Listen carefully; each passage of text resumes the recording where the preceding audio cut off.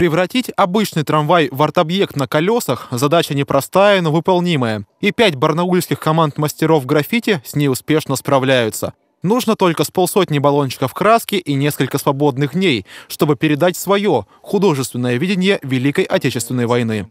Например, для Ивана Ильющенко она ассоциируется с песней «День Победы». Поэтому на его трамвае портреты авторов слов и музыки Владимир Харитонов и Давид Тухманов. Также здесь нарисован молодой человек, это мой сын Степан, который... Прототип сын, да? Да, мой сын Степан, и как из него выливается музыка, которая в унисон рельсам, стуку колес.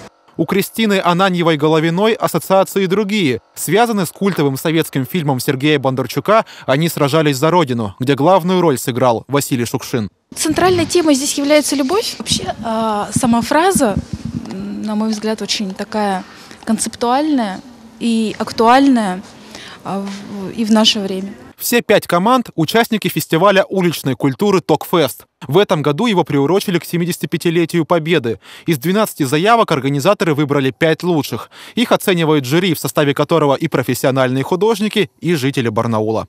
В первую очередь это эскиз, а, конечно же, совпадение с тематикой. У нас тематика – это 75-летие Победы.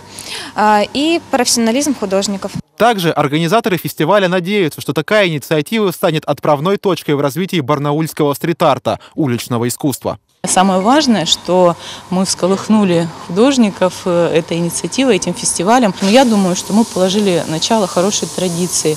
Молодежь э, активно готова участвовать вот в изменении пространства э, и среды, в которой мы живем. Арт-трамваи проедут по главным маршрутам краевой столицы 9 мая. Но после Дня Победы радовать горожан не перестанут. Будут ездить как минимум три года. Владислав Кириенко, Сергей Балуев. Новости.